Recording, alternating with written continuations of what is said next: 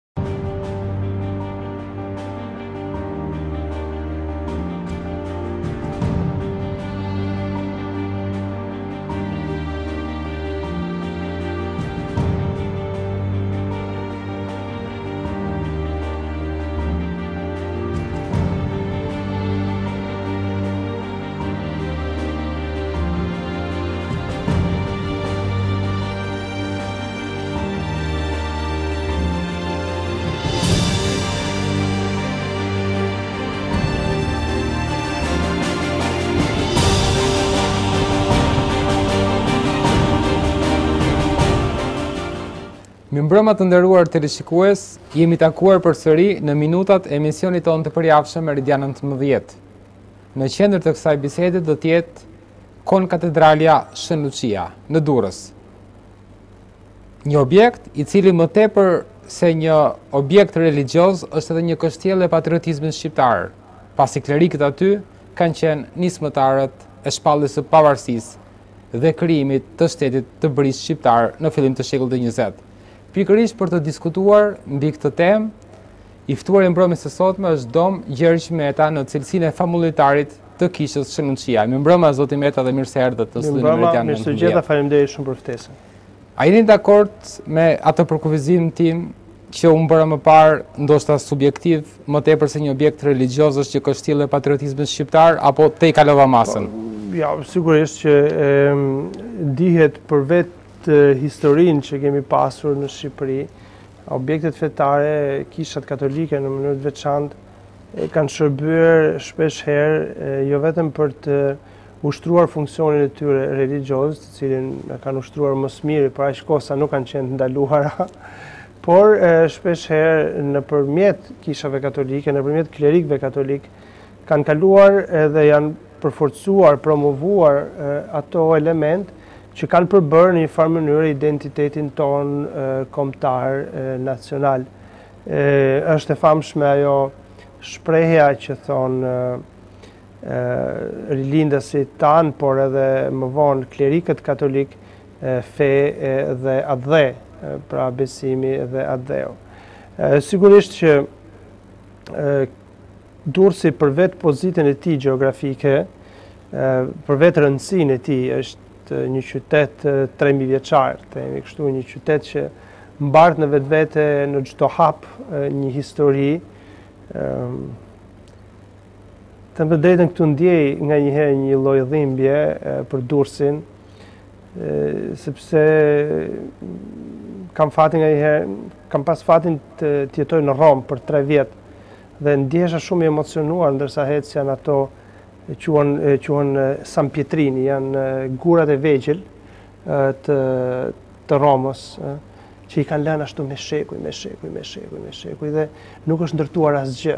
Domethënë është prek me dorë historinë, prek me dorë ato njerëz që kanë hecur aty, që kanë kaluar, ndjen, gati gati akoma zhurmat e kohës, e efektit kohë të shekujve. E personave, të karrocave, të njerëzve.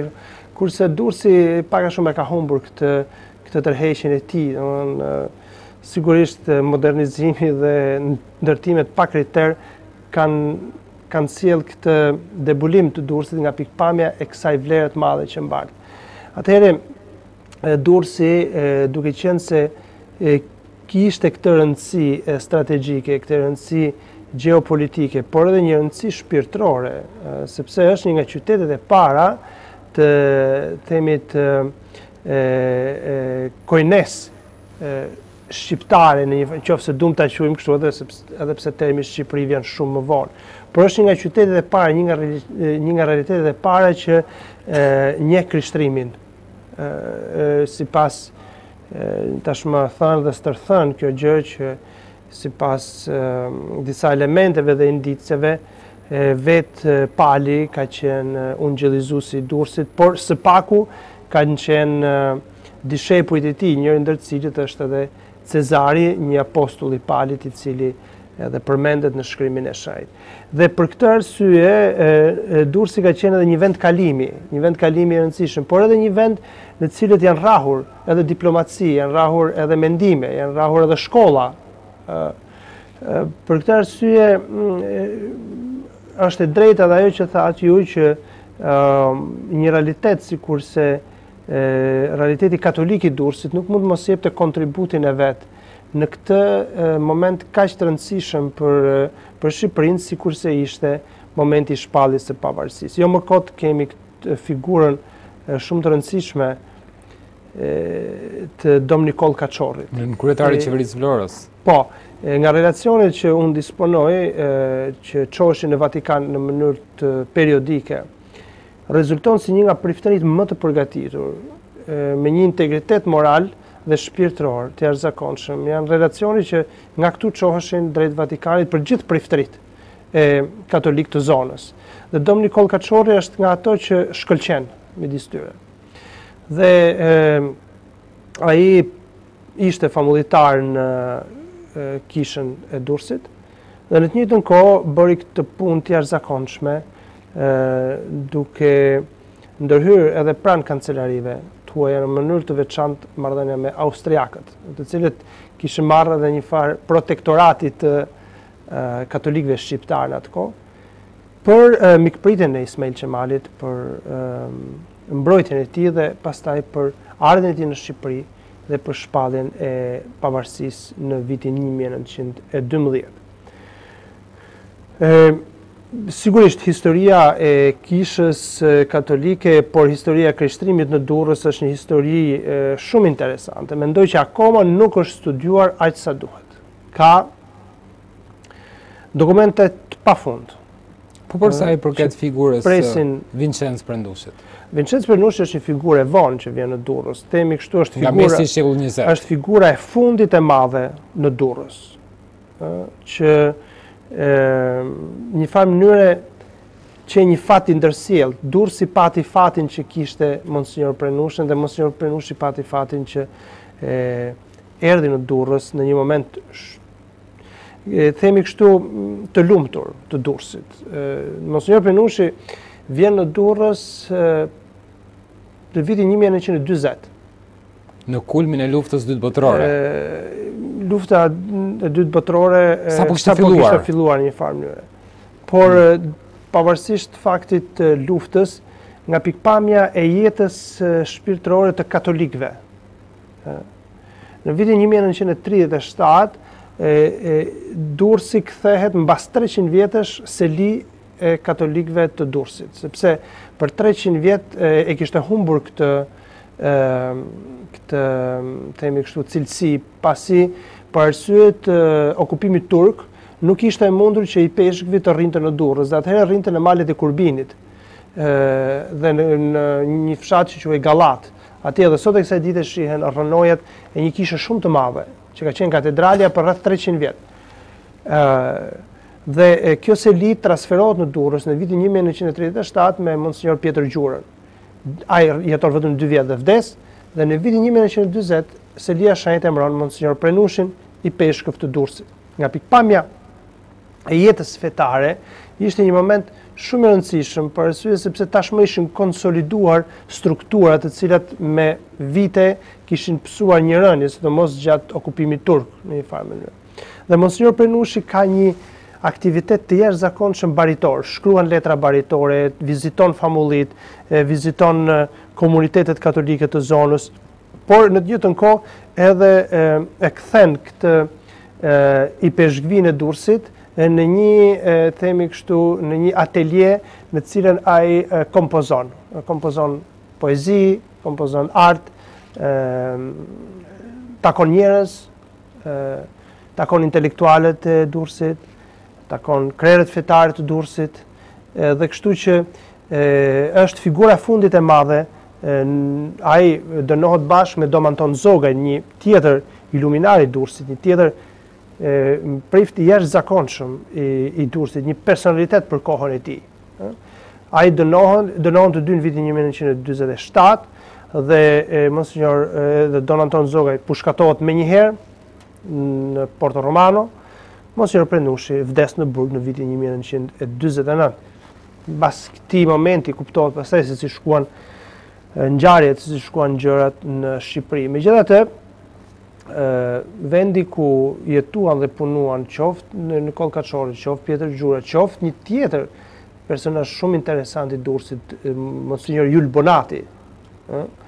Qoftë Dom Anton Zogaj dhe së fundi pastaj Dom Pal Gjini i cili vdiq në vitet 80 në Durrës, Ajo zonë aty bashkë me kishën, me ipeshkvinë, me shpinë e murgeshave dhe me priftin, mbetet do thuaja një perlë e pazbuluar e Durrësit. Vetëm se çështja është që kjo perlë është brenda guaskës dhe akoma nuk është hapur kjo guaskë që ta marrim këtë perlë për ta rizbuluar këtë qendër të Durrësit, kaq të rëndësishme që është një pjesë thelbësore e historisë së Durrësit.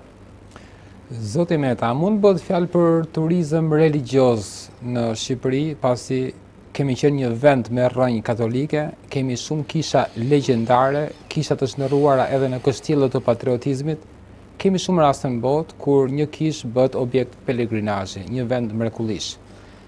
Nëse do të flisnim për turizmin religjioz ose për pelegrinët, në cilin stad jemi në krahasim me Europën e zhvilluar? Jemi shumë mbrapa në këtë pikë. Do doja të thoja Kemi rastin e Medjugorjes në Bosnjë. Ka pas disa përpjekje, di di di me saktësi për një marrëveshje që është nisur ndërmjet Opera Romana Pellegrinaggi, që është një organizëm i Kishës Italiane për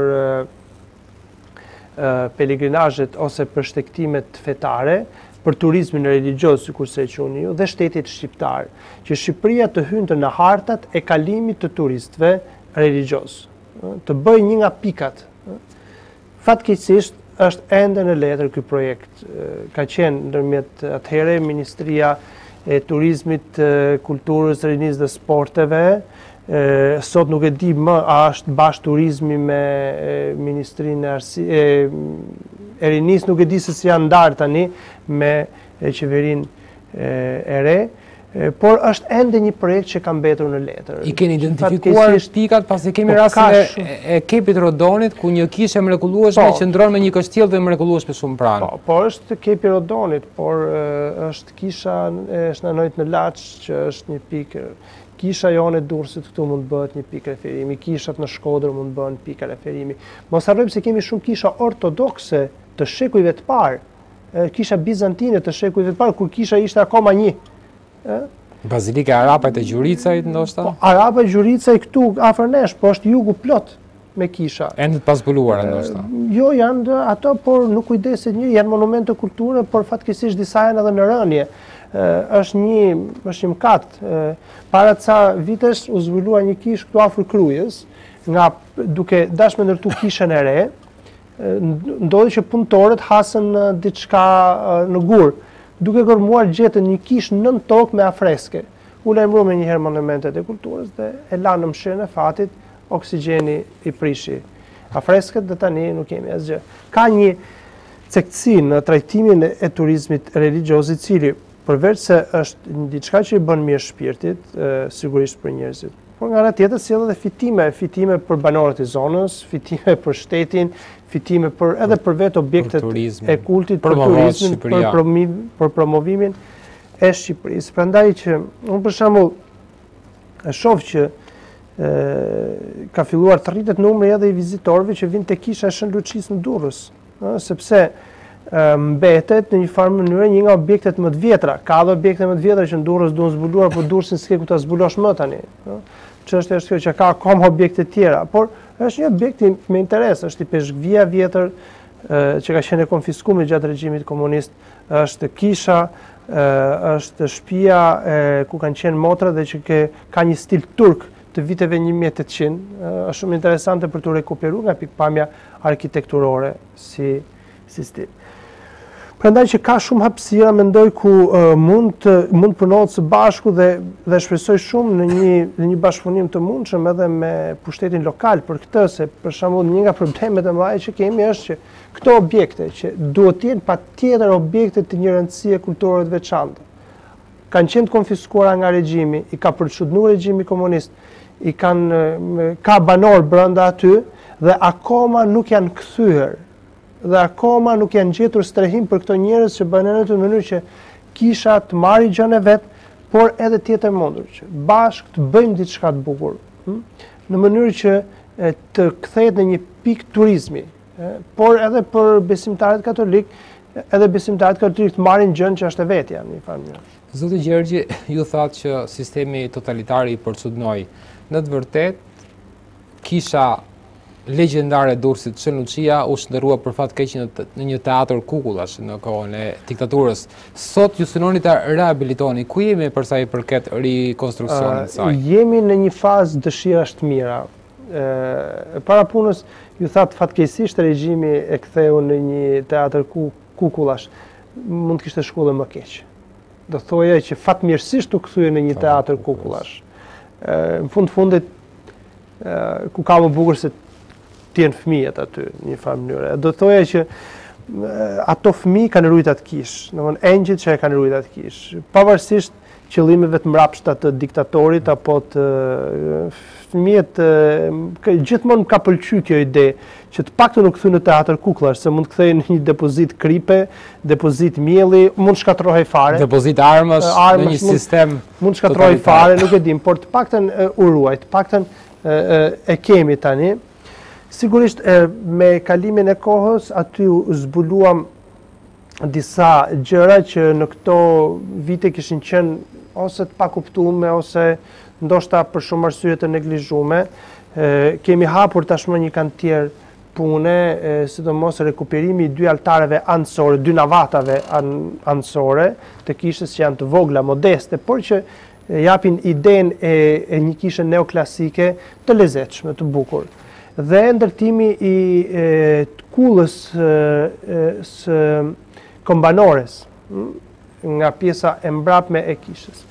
Jemi tani në një projekt, jemi në komunikim dhe në mundësi kontraktimi me donatorë të ndryshëm që të na ndihmojnë, presim ndihmë nga çdo person ose çdo ent që mundet të bëjë një gjë të bukur për sepse është është diçka e bukur për Durrësin, jo vetëm për katolikët. Dhe kemi filluar tashmë me paktën me nxjerrjen në pah të elementeve që duhen rregulluar, do të vijë dalngadalë, nuk është vetëm çështja e kishës, është edhe çështja e ndërtesës afër kishës që është ipeshkvia e dikurshme. Ajo duhet të rikthehet ashtu si ka qenë, sepse Aty ku bën vitet flamuri ynë kombëtar. Aty ku un jam i sigurt është ngritur flamuri ynë kombëtar. Domethënë aty duhet të kishte një një interes më të madh për ta rikonstruktuar. Një interes më të madh për ta rikonstruktuar dhe për ta rregulluar. Pasi është pjesë e identitetit tonë. Është pjesa e Durrësit historik. Domethënë, aty është zemra e Durrësit historik në një farë mënyre. Ndoshta jo edhe edhe Zoti ka dashur që të jetë pikërisht në atë pjesë, në atë pjesë gati si si në qendër të këtij Durrësi kaq të kaq të bukur, kaq të rëndësishëm. Prandaj që un un përfitoj edhe që të të mendohet edhe nga ana e pushtetit lokal për një ë afrim të paktën një mundësi ta shikojnë, ta shohim ça mund të bëjmë bashkë, ça mund të japim ne, ça mund të japë bashkia për rikthimin në identitet të kësaj qendre kaq të madhe, duke qenë se ajo është edhe zonë e mbrojtur pastaj.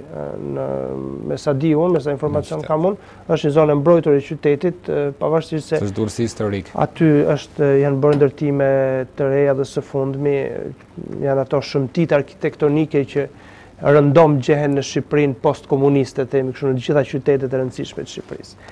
Por, nga pikëpamja e katolikve, nga pikëpamja shpirtërore, për ne do ishte shumë e rëndësishme rekuperimi i asaj kishe, dhe sidomos zbukurimi i saj. Jam i sigurt që do kthehej në një qendër pelegrinazhi, edhe edhe sigurisht do kishte shumë çifte të reja që do donin të vinin edhe të të, të bënin edhe martesën e tyre. Zoti Gjergji, ardhja e Papa Françeskut në Shqipëri, çfarë përfaqësoi nga këndvështrimi juaj, jo vetëm për botën katolike të Shqipërisë, por për mbarë kombin shqiptar. Cilësohet një papë i periferive, ky papë argjentinas që nuk mban kryq floriri por kryq hekuri. Po, unë mendoj që vizita e papës ishte shumë planëshe, nuk mund të thuhet se kishte vetëm një qëllim. Sigurisht, kryesisht një papë vjen për takuar besimtarët katolikë, por një papë e din mirë që besimtarët katolikë në një territor nuk janë të izoluar dhe nuk jetojnë vetëm.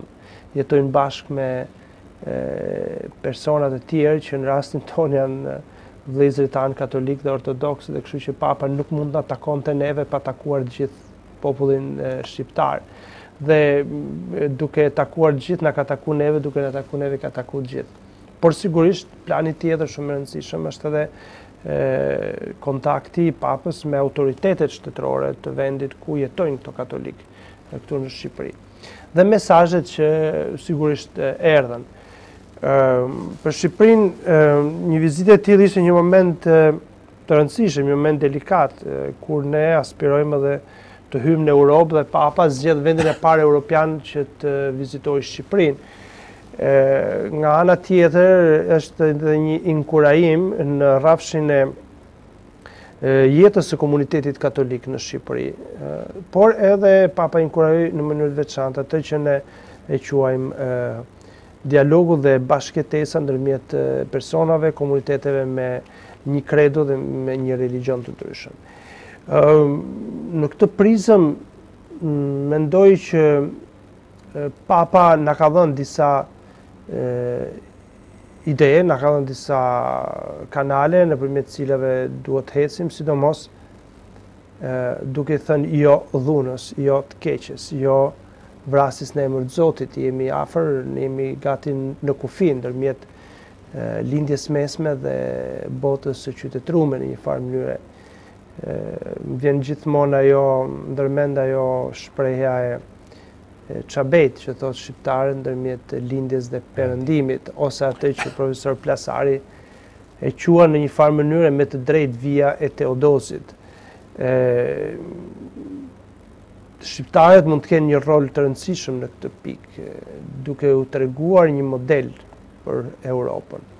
Por një model mbi të cilin nuk mund ta marrim kurrë të mirëqenë, Kurrë një model me të cilin kemi imunitet, por një model me të cilin duhet punuar dhe duhet modeluar herë pas here, i duhet dhënë formë herë pas here. Këtë model mos vallë ia eksportuam Europës pas ngjarjes së Charlie Hebdo's ku pati dhe përplasje qytetërimesh. ku klerikët shqiptarë parakaluan në Paris duke dhënë një shembull të jashtëzakonshëm. Po, ai ishte një shembull sigurisht i mirë, mendoj që nuk duhet absolutizuar, thashë edhe një herë që është një model, ato janë disa shenja, por mbas shenjave ka një realitet. Dhe ky realitet shpeshherë zien, shpeshherë është i vullshëm, shpeshherë i ngadalshëm, shpeshherë ka konflikte, shpeshherë ka edhe kuptime, mirëkuptime, por edhe keqkuptime. Pra ndaj që detyra është kjo me punu në bazë, me punu në mënyrë metodike dhe me punu me bindjen se kjo është rruga e duhur. Jo vetëm thjesht e bëjmë për sy e faqe, por e bëjmë sepse jemi të bindur që është rruga e duhur. Nuk ka një rrugë tjetër, përndryshe rruga tjetër shkon drejt konfliktit, drejt eliminimit reciprok. Zoti Meta, përse i quhet Papë me origjinë piemonteze, por që ka jetuar shumë vite në Argjentinë, një papë i periferive, mm. është tifoz i një skuadre futbolli, siç e nënvizove më parë, nuk pëlqen orendit e floririt, man mm. kryq hekuri, a po bën një revolucion në Vatikan? Shiko, ka një gjë që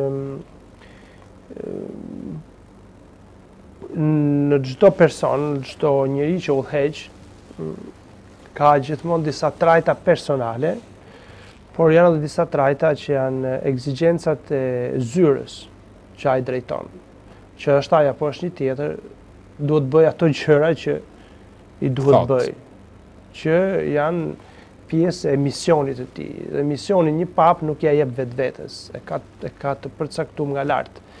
Dhe e, në këtë pikëpamje, Papa ka dhënë disa shembuj personal mbi mbi disa gjëra dhe këto shembuj personal janë ato që thatë ju, mënyra se si ai qaset ndaj njerëzve, pasuria, kryqit, kryqi i floririt apo i drurit e tjerë e tjerë, ose për shembull... Rëndësi ka besimi dhe jo vlera e metalit. E fundit që ka bërë, që më pëlqeu shumë, është një koncert që do bëhej për të mbledh, Ai, për shembull, vendin e pushtetarëve, ka thënë këtu do vijnë barbonët, kloshardët, të tjerët të ulen ku dun, po jo, kështu them unë, kjo është vendi i parë. Të gjithë jemi të barabartë para Zotit. Kjo është ungjillore shumë, sepse tregon kujdesin ndaj personave që janë më në nevojë. Thënë kjo, pra thënë këto sensibilitete personale të papës, shumë të rëndësishme, që në fund të fundit janë sensibilitete të një besimtari. Pastaj, papa sigurisht që ka një agjendë që është misioni i tij si papë, që do e bënte dhe duhet ta bëjë çdo papë që vjen, sikurse është për shembull reformat e ndryshme në kishë që herë mas herë kisha ka nevojë të reformohet si çdo lloj institucioni tjetër. Ka nevojë të reformohet. Janë udhëtimet e tij, janë takimet e tij me të pushtetshmit, me njerëzit, me qeveritarët, e tjerë, e tjerë, audiencat e përgjithshme që bën çdo të mërkurë, e tjerë, e tjerë. Pra, të themi kështu ndërthuren në këtë person, qoftë sensibilitetet personale, por qoftë ato gjëra që ai duhet të bëjë për arsye të zyrës së tij, për arsye të punës që ai ka, të misionit që ai ka. Gjithsesi, duket që është një papë i cili po sjell shumë risi në jetën e kishës. Shpresojmë, nganjëherë janë e, janë efekte me shpërthim të vonuar, me shpërthim të ngadalshëm. Domethënë, e, e nisin këtu, por ndoshta mund të shpërthejnë mas shumë vitesh. Nuk e nuk e dimë asnjëherë kisha ka gjithmonë këtë trajtën e vet që i shkon gjëve ngaherë ngadalë, ngaherë shpejt, por do kohën e vet. Zoti Gjergji, kemi patur një papë polak që ishte në kulmin e luftës së ftohtë, një papë gjerman, një papë argjentinas, por edhe Shqipëria i ka dhënë Vatikanit disa papë në historinë e saj shekullore. Sot ndoshta të pretendojmë të pretendojmë për një papë shqiptar mund të jetë shumë, por mund të bëhet ndonjë klerik shqiptar kardinal në Vatikan në këtë kohë? Nuk e di. Ndoshta po. Cilat janë rekuizitet, çfarë kushtesh? Nuk është se ka rekuizita, ajo varet nga rrethanat, momenti kur të vijë. Mund të jetë se Shqipëria ka nevojë për një kardinal për arsye të ndryshme. Hm?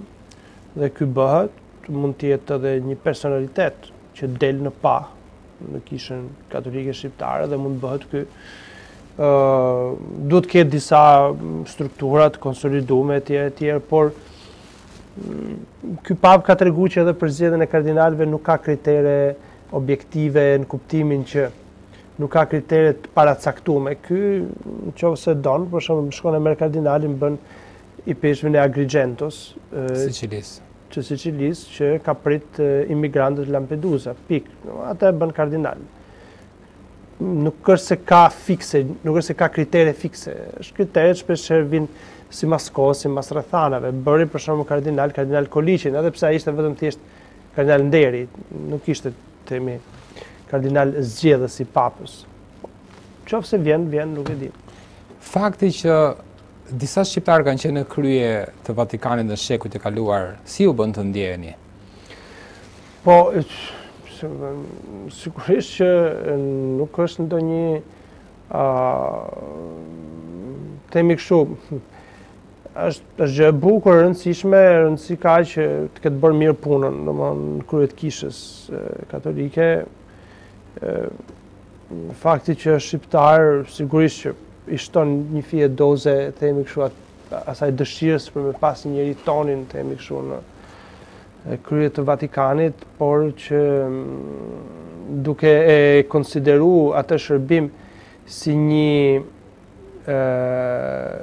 si një duke konsideru duke konsideru atë detyrë si një shërbim dhe jo si një të themi kështu pushtet si një sundim, shpresoj thjesht që para Zotit pastaj të kenë ça me thanë që e, e, e kanë ba mirë këtë punë që të na bëjnë krenar jo vetëm para njerëzve, por edhe para Zotit. Zoti Meta, pak ditë më parë, Vatikani u shpreh se njeh pavarësinë e shtetit të Palestinës.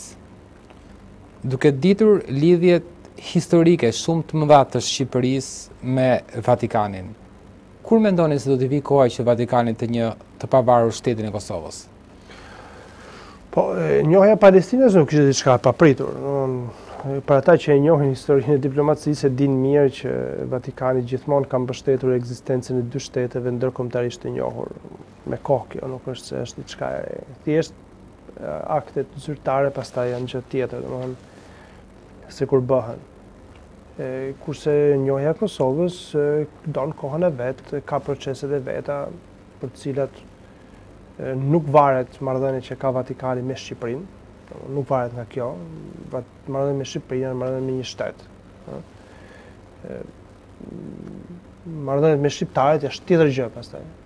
Është sepse ne shqiptarë nuk kemi vetëm në Kosovë, kemi edhe në Mal të Zi, kemi edhe në Maqedoni etj etj. Ë Askush nuk mund të thotë që nuk janë bërë hapa, nuk kush do me i lexu hapat i din, domethënë mirë, se si janë bërë. Por Vatikani ka një procedurë të vetën të ngadalshme, simbas rrethanave, sipas leximeve të historisë. Ne mund të kemi shumë dëshira, por shpesh herë shtetet, diplomacitë, e mira e popujve e tjera, e tjera hecin me kritere të tjera që ne nështë Shpeshherë ose nuk i kuptojmë, ose thjesht jemi më shumë të nxitur nga dëshirat e tona të momentit që duam të njihet Kosova.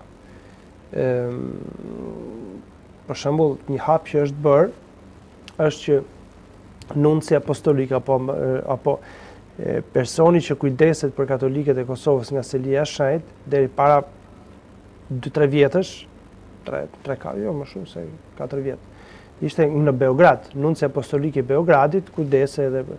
Tani nuk është më i Beogradit, është kaluar kompetenca tek ai i Slovenisë. Domethënë është një person i caktuar në Sloveni që merret edhe me shtetin e Kosovës. Pra, pra ka filluar hapat e parë gradualë, por të pandalshëm. Është gradual të ku shkon, si shkon, si plotëson kriteret, gjërat, i he, fillohet. Pastaj, do kohën e vet, nuk mund t'i, nuk mund t'i vejmë e, e nxitim gjërave. Kosova është një shtet që po ecën, që po përparon. Ne jemi të lumtur, konferenca ipeshkvore e Shqipërisë ka shprehur disa herë këtë gjë si një nga ngjarjet më të rëndësishme. Katolikët shqiptarë janë pro kësaj njohje, janë të kënaqur, të gjithë po i shohim edhe themi kështu ato gjërat e bukura që ndodhin, sidomos Fakti kur tani shkon Kosovë për dy orë, kemi shkëmbime të jashtëzakonshme, kemi miqësi të bukura që po lindin, fakti që më në fund jemi të lirë të shkojmë në Kosovë edhe shqiptarët e Kosovës të vijnë në Shqipëri. Pjesa e Vatikanit pastaj don kohën e vet që nuk varet nga ne, nga dëshirat tona. Zoti Meta, Kosova është toka e imzot Damjan Kurtit, një kleriku të madh që shërbeu në Durrës për të ringritur kishën katolike të rrënuar nga pasojat e sistemit komunist. Çfarë ju kujton kjo figurë Damjan Kurti? Mendoj se për Monsinjor Damjanin do të duhej të bënim një emision tjetër, pak më të gjatë dhe më të detajuar, sepse ai meriton jo një emision, por më shumë sesa një emision. Para pak ditësh ai kishte një vjetorin e vdekjes dhe ne si famulli, si besimtarë të kishës së Shën Luçis, patëm një kremtim këtu, po shkuam edhe tek fshati i Monsinjor Damjanit në Binç të Vitisë në Kosovë, ku bëmë edhe një meshë dhe shkuam bëmë një lutje tek varri i Monsinjor Damjanit. Mund të them se Monsinjor Damjani bashkë me